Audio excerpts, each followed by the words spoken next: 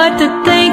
He knelt to the ground and pulled out a ring and said, Marry me, Julia. You'll never have to be alone. I love you.